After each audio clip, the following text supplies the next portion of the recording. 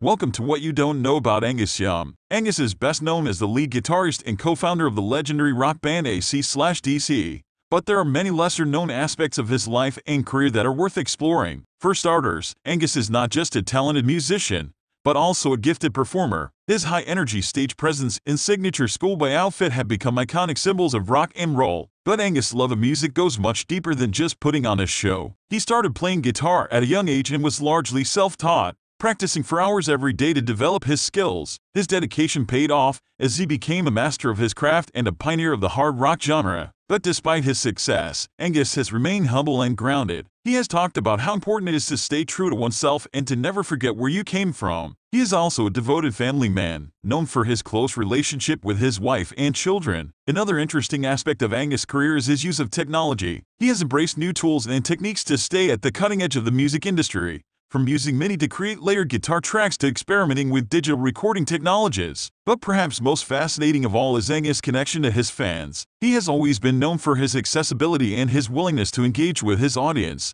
both on and off stage. He has also been generous with his time and resources, supporting various charities and causes over the years. So there you have it. Just a few of the many interesting facts about Angus Young that you may not have known. Whether you're a die-hard AC/DC fan or simply appreciate his skill and dedication as a musician, there's no denying that Angus is a true icon of rock and roll.